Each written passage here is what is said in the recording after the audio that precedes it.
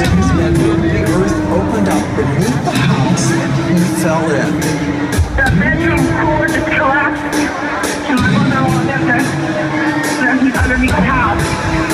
The earth opened up and left this giant sinkhole.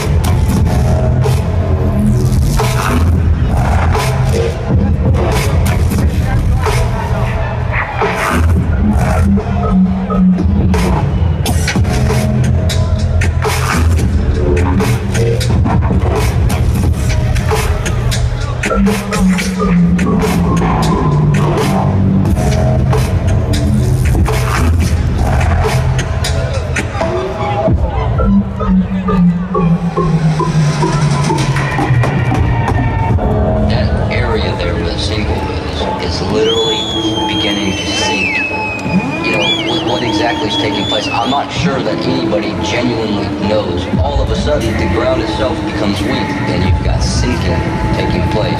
People have been evacuated from the area. Down here, things start shifting. Things start moving. There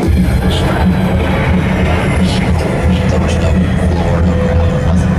It was gone. Everything was gone.